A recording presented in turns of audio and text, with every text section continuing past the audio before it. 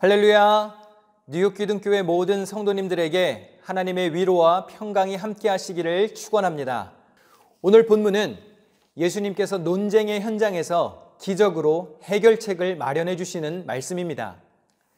살다가 보면 때에 따라 논쟁이 필요합니다. 손해와 이익을 따져야 할 때, 권리를 찾아야 할 때 등 건강한 감론을박이 생산적인 결과를 가져오기도 합니다. 그러나 우리가 스스로 물어보아야 할 것은 우리가 삶에서 경험하는 논쟁이 과연 얼마나 건강한 논쟁인가 하는 점입니다. 오늘 말씀을 보니 이런 장면이 등장합니다. 마가복음 9장 14절입니다. 그들이 다른 제자들에게 와서 보니 큰 무리가 그 제자들을 둘러싸고 있고 율법 학자들이 그들과 논쟁을 하고 있었다. 이 말씀은 이른바 변화산 사건 바로 다음에 기록된 내용입니다. 예수님이 베드로와 야고보 그리고 요한을 따로 데리고 산 위로 올라가셔서 모습이 변형되신 적이 있지요. 마가복음 9장 2절입니다.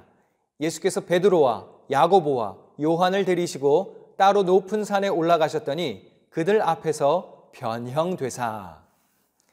이것은 단순히 외형적인 모습의 변화가 아닌 본질적으로 완전히 다른 전혀 새로운 실존으로 변신하신 것을 의미합니다. 세 명의 제자들은 잠시 동안 신비로운 영적 체험을 하게 되었던 것이지요. 그렇게 산 위에서 아주 은혜롭고 경이로운 경험을 하고 내려왔습니다. 그런데 산 아래에서는 다른 제자들이 율법 학자들과 다투고 있었습니다. 이 모습을 지켜본 예수님의 마음은 어떠셨을까요? 마치 모세가 시내산에 올라가서 40일 동안 하나님과 만나고 내려왔을 때 산 밑에서는 백성들이 우상을 만들고 있었던 장면이 떠오릅니다. 이 두 사건의 공통점은 무엇인가요? 산 위에서는 가장 거룩한 일이 벌어지는 중인데 산 밑에서는 수치와 실패가 나타납니다. 여러분, 산 위의 신앙과 산 아래의 신앙은 다른 것입니다. 우리가 하나님을 가까이 하는 신앙생활을 하는 것과 하나님과 멀찍이 거리를 두고 신앙생활을 하는 것은 완전히 다릅니다. 우리가 가장 거룩한 순간에 도달했다고 느낄 때 가장 추한 죄의 유혹이 우리를 넘어뜨리려고 다가옵니다. 사탄은 우리가 은혜 충만해진 것을 시기하고 질투하지요. 그래서 그 값진 은총을 뺏어가고자 우리를 시험합니다. 신앙생활 하다가 여러분 스스로가 가장 충만해졌다고 느껴지실 때 가장 큰 경각심을 가지셔야 합니다. 예수님이 제자들과 산에서 내려오셨을 때 초를 치는 현장을 보시고 이렇게 물으십니다. 마가복음 9장 16절. 너희는 그들과 무슨 논쟁을 하고 있느냐? 너희는 그들과 무슨 논쟁을 하고 있느냐? 한 남자가 귀신 들린 아들을 제자들에게 데려왔습니다. 고쳐주기 위해서 고쳐줄까 하고 기대하는 마음으로 데려왔습니다. 그런데 제자들이 귀신 들린 아들을 치료해주지 못합니다. 그리고 제자들과 율법학자들 사이에 논쟁이 벌어졌습니다.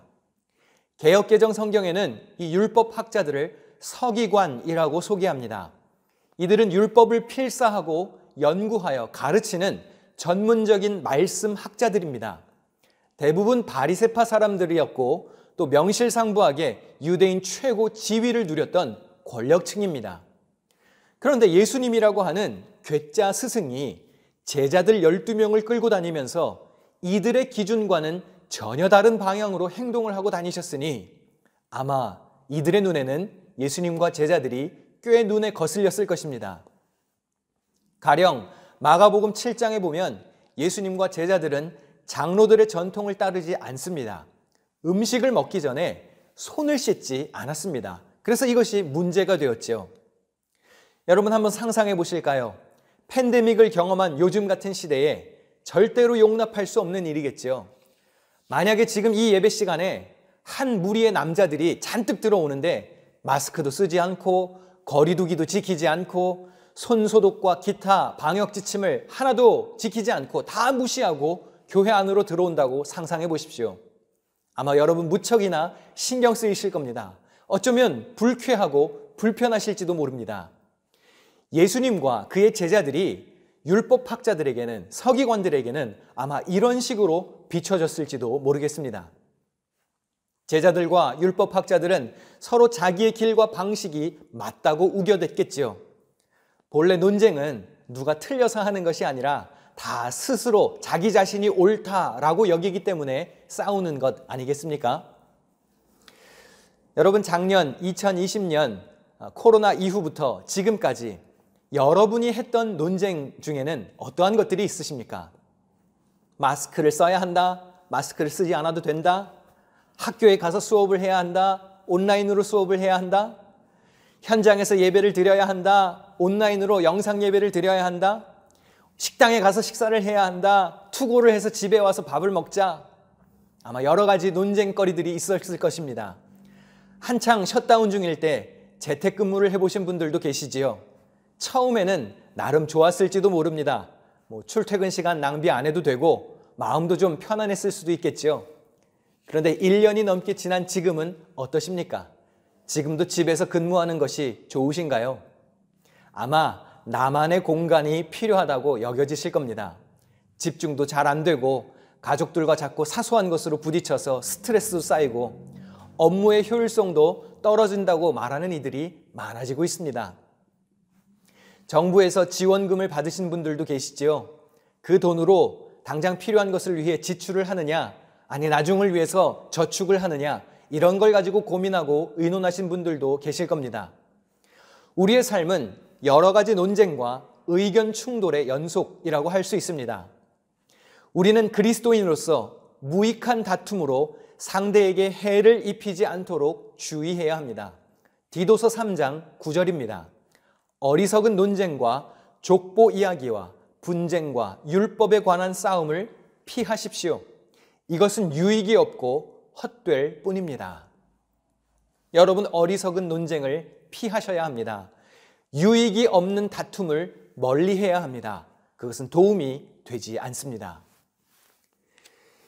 예수님이 이 논쟁의 장면을 목격하고 어떠한 반응을 보이셨을까요? 마가복음 9장 16절입니다. 아, 믿음이 없는 세대여. 내가 언제까지 너희와 함께 있어야 하겠느냐? 내가 언제까지 너희에게 참아야 하겠느냐? 제자들은 귀신 들린 아이를 고쳐주지 못했습니다. 물론 율법학자들도 해결해 주지 못한 일이었습니다. 그렇게 그들은 실패의 현장에서 서로 말다툼이나 하고 있었습니다. 그러자 예수님은 그들을 향해 믿음이 없는 세대라고 비판하시고 내가 언제까지 너희들 때문에 인내해야 하냐 하고 무척 답답한 속내를 드러내 보이셨습니다. 예수님은 이 일을 어떻게 해결하실까요? 논쟁을 무시하시고 곧바로 문제의 중심으로 들어가십니다. 마가복음 9장 16절과 21절을 보겠습니다. 아이를 내게 데려오너라. 내게로 데려오라. 아이가 이렇게 된 지 얼마나 되었느냐. 예수님은 문제의 중심에서 벗어나 불필요한 언쟁이나 하고 있었던 율법학자들과 제자들을 외면하십니다. 그리고 진짜 중요한 질문을 하십니다. 문제의 핵심을 짚어내신 것이죠. 여러분, 진짜 이슈에 집중할 수 있어야 합니다. 한국에 와서 보니까 어, 찐이라고 하는 말을 많이 쓰더라고요. 어, 저만 몰랐는지 모르겠는데 어, 진짜를 뜻하는 인터넷 은어라고 합니다. 아마 한자어 참진자에 강세를 붙인 것이라 추측이 되는데요. 그 찐, 진짜, 진짜에 집중할 수 있어야 합니다. 쓸데없는 것을 가지고 탁상 공문을 해서는 안 되는 것이죠. 귀신 들린 아들의 아버지는 어려서부터 고생하는 아들로 마음이 괴로웠을 겁니다. 그래서 혹시라도 고침을 받을 수 있을까 하여 제자들을 찾아온 것이죠. 이런 논쟁의 중심에 서고자 은혜의 자리를 사모하고 온 것이 아닙니다. 그런데 우리는 때로 제자들과 같은 모습을 보일 때가 있습니다. 따지고 싸우는 일에 바빠서 찐, 문제의 진짜 중요한 것을 놓쳐버리고 외면합니다. 도움이 필요한 자들의 삶을 무시한 채 우리의 이익과 우리의 권리를 변호하는 일에만 싸움하기에만 몰두하고 있지는 않으십니까? 한번 묻겠습니다. 여러분의 논쟁의 중심에서 약자를 향한 사랑과 배려가 있었습니까? 진짜로 중요한 문제는 뒤로 하고 있지는 않으셨나요? 예수님은 이 아이의 문제를 보시고 그 아버지에게 집중합니다. 아버지는 예수님께 이렇게 요청했습니다. 마가복음 9장 22절입니다. 무엇을 하실 수 있거든 우리를 불쌍히 여기사 도와 주옵소서. 이 요청에 대한 예수님의 유명한 답변입니다. 마가복음 9장 23절 할 수 있거든이 무슨 말이냐? 믿는 자에게는 능히 하지 못할 일이 없느니라. 아들의 아버지에게는 확신이나 믿음이 없었습니다. 다소 의심이 되는 마음 그대로 예수님께 도움을 요청했습니다. 예수님은 믿는 자에게는 능치 못할 일이 없다고 답변해 주시지요. 그랬더니 그 아버지가 즉각적으로 이러한 반응을 보입니다. 신앙생활을 하는 우리가 가져야 할 자세입니다. 마가복음 9장 24절을 읽어볼까요? 내가 믿나이다. 나의 믿음 없는 것을 도와주소서. 아버지는 예수님께 즉각적으로 내가 믿노라고 답했습니다. 그리고 자신의 믿음 없음까지도 주님께 내어 맡겼습니다. 우리가 아무리 주님을 믿는다고 하지만 때에 따라 연약하여 넘어질 때가 있지요. 그럴 때 우리는 이 아들의 아버지처럼 나의 연약함과 의심마저도 주님께 맡길 수 있어야 합니다. 주님, 제가 믿습니다. 믿고 싶습니다. 그러나 주님, 저는 연약합니다. 그래서 오늘도 넘어지고 실수하고 죄의 유혹에 흔들립니다. 저의 믿음 없는 것을 도와주십시오. 아버지는 예수님 앞에 자신의 모든 것을 내려놓았습니다. 아들의 문제도 자기 믿음의 문제까지도 말입니다. 여러분, 우리 주님은 우리의 문제보다 크십니다. 우리 주님은 어지럽고 복잡한 이 세상보다도 크십니다. 힘겨운 세상 살이에 각종 삶의 문제와 하나님을 향한 불신이 커지고 있지는 않으십니까? 오늘 말씀에 등장하는 이 아버지처럼 즉각적으로 주님께 모든 문제를 내려놓고 하나님을 의지해야 합니다. 예수님은 귀신 들린 아들을 치료해 주셨습니다. 제자들도 하지 못하고 율법 학자들도 하지 못한 일을 우리 주님께서 그 즉시 해결해 주셨습니다. 할렐루야! 우리 삶의 문제는 이렇게 해결함을 받는 것입니다. 할 줄 모르는 사람들끼리 서로 다투어서 무엇합니까? 제자들과 율법 학자들 사이의 논쟁이 지금 귀신 들린 아들을 데리고 있는 이 아버지에게는 무슨 유익이 있었겠습니까? 우리 교회 일도 마찬가지입니다. 가정의 문제도 마찬가지입니다. 삶의 다양한 고민들도 마찬가지입니다. 해결하실 수 있는 하나님께 매달리시기를 축원합니다. 사람의 힘으로 할 수 없습니다. 사람의 논쟁으로 해결할 수 있는 것이 아닙니다.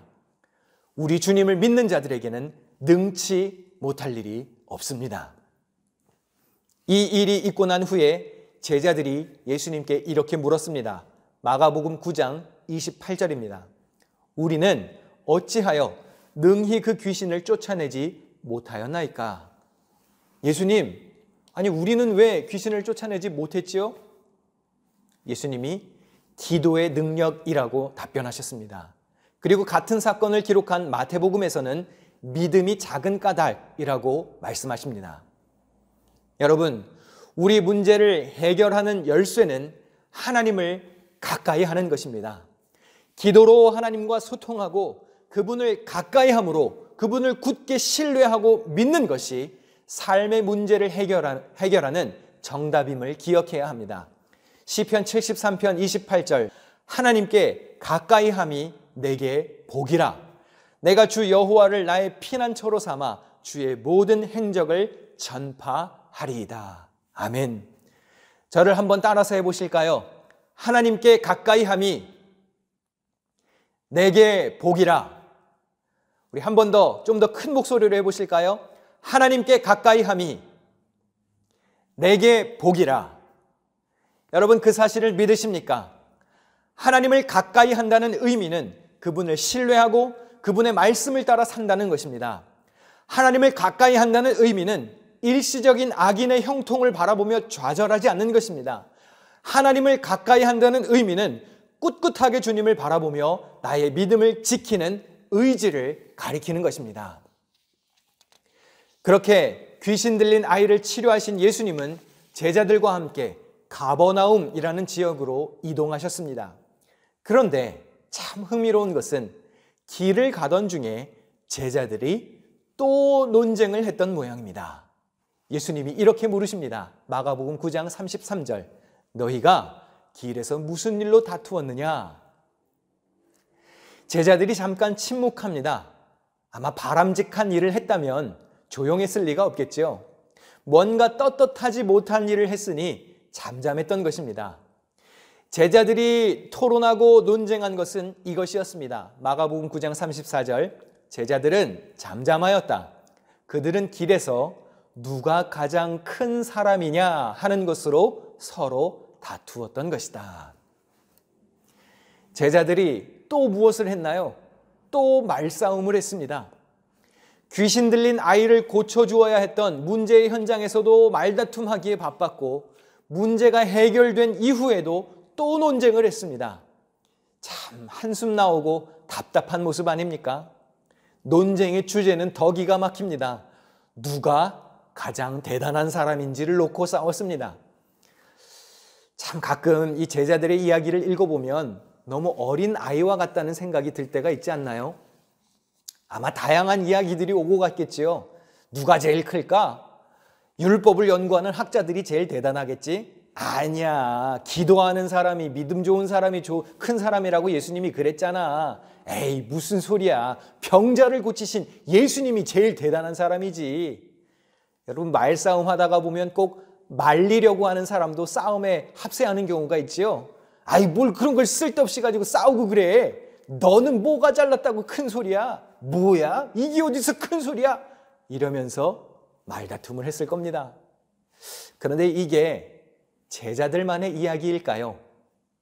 혹시 우리의 모습은 아닙니까? 한번 묻겠습니다. 누가 큰 사람인가요? 누가 가장 대단한 사람인가요? 지위와 경력이 있는 사람일까요? 공로가 많은 사람인가요? 똑똑하고 많이 아는 사람일까요? 예수님은 이렇게 답변하십니다. 마가복음 9장 35절입니다. 누구든지 첫째가 되고자 하면 그는 모든 사람의 꼴찌가 되어서 모든 사람을 섬겨야 한다. 제자들의 관심은 온통 높은 자리, 큰 사람, 대단한 위치에 관심이 있었습니다. 그런데 예수님은 이들에게 의외의 답변을 주십니다. 누구든지 대단한 사람이 되려면 가장 낮은 자리에 내려와서 섬기는 사람이 되어야 한다는 것입니다. 이 본문에서 섬기다에 해당하는 헬라어 원문은 디아코노스입니다. 이것은 무엇 무엇을 통하여 라는 뜻을 가진 디아와 먼지 속에서 일한다 라는 뜻을 가진 코니스가 합쳐진 합성어입니다. 그러니까 디아코노스, 섬기다에 해당하는 디아코노스는 먼지 속에서 일한다 라는 의미가 있습니다. 이 단어는 원래 노예, 하인을 뜻하는 단어였습니다. 그러나 초대교회 이후에는 교회의 직분을 가리키는 용어가 되지요. 교회에서 집사라고 하는 직분이 있지요. 그 집사가 영어로 무엇입니까? deacon. deacon입니다. 이 deacon이 바로 헬라어 디아코노스에서 나온 말입니다. 그러니까 지금 이 말씀을 듣고 앉아 계신 집사님 이상의 직분자들은 어떤 사람들인가요? 먼지 속에서 일하는 사람이라는 의미가 있습니다. 여러분은 교회에서 어떤 사람이십니까? 낮은 자리에서 문제의 핵심을 위해 섬기는 일꾼입니까? 아니면 불필요한 논쟁에만 앞장서는 말꾼입니까? 직분이 있으십니까? 은사가 있으신가요? 경험이 오래되었고 믿음이 대단하십니까?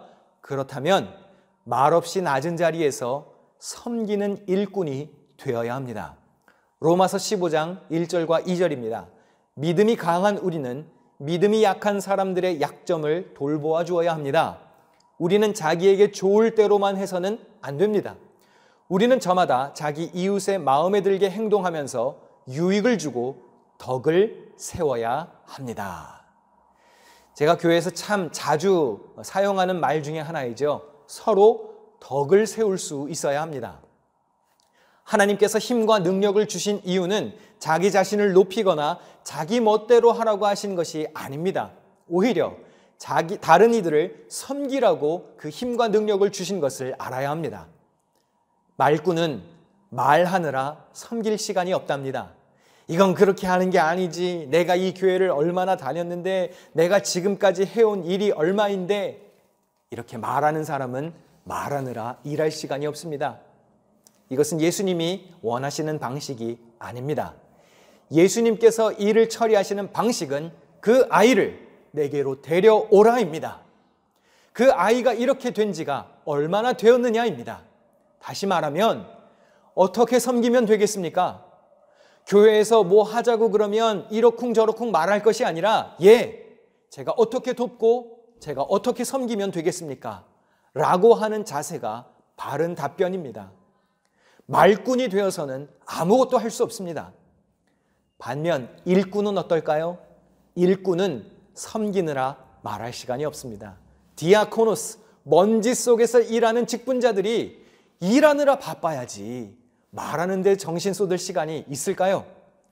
예수님께서도 섬김의 본을 보이신 분이십니다.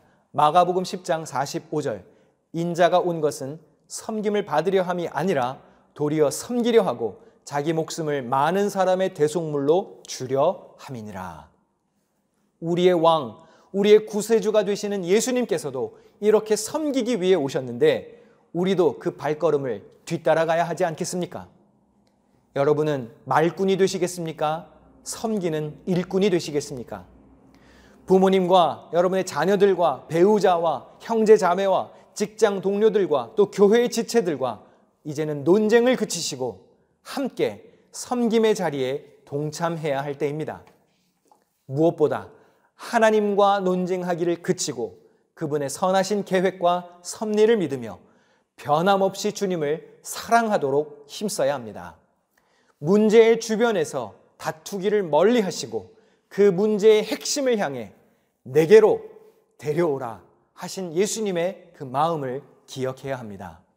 여러분 모두 섬김의 자리를 가까이 하여 하늘 상급의 주인공이 되시기를 축원합니다. 기도하겠습니다.